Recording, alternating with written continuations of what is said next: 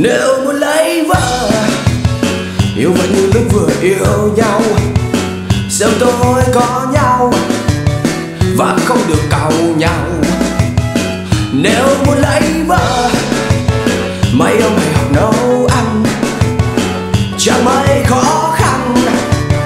Đừng nằm đặt chân mà đọc báo. Nếu muốn lấy vợ, đừng coi vợ như ô xin nè cứ sai việc linh tinh. Còn ta thì cứ nằm chính em. Nếu muốn lấy vợ, thì việc lau nhà rửa chén.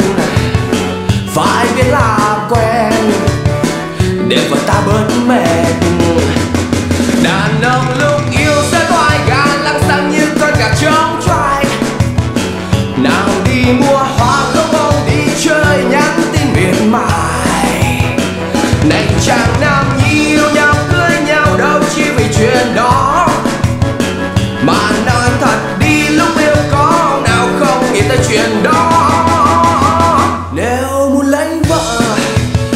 thì quen với việc thức khuya.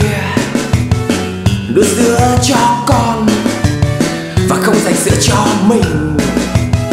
Nếu muốn lấy vợ, thì quen với việc chuỗi đít thay ta cho con. Vì vợ con phải làm hết.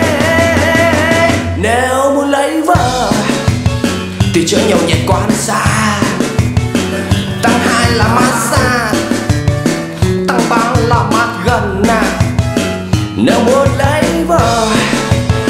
Thấy gái mình nhìn lén lén. Mê mẩn phim đen, rồi chế vợ mình. Đàn ông lúc yêu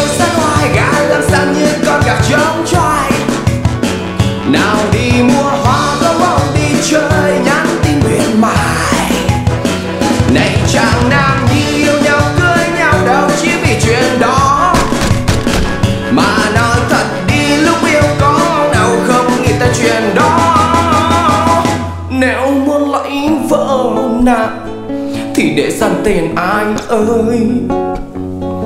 Chưa có ăn chơi nè, cũng chớ mê bạc bài.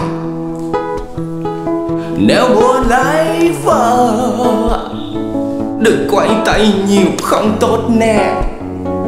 Lúc lấy vợ rồi, ngồi khóc định mệnh mà thôi. Buồn thiệt chứ